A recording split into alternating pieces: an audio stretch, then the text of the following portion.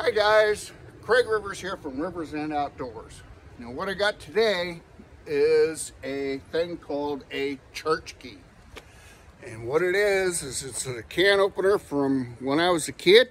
If you didn't have one of these, you couldn't open a soda can. You had to use a screwdriver because they didn't have pull tabs or any of that stuff when I was younger. The thing that makes them cool is that if you want to make a hobo stove, you can use one and pop this, a bunch of holes in the in the can.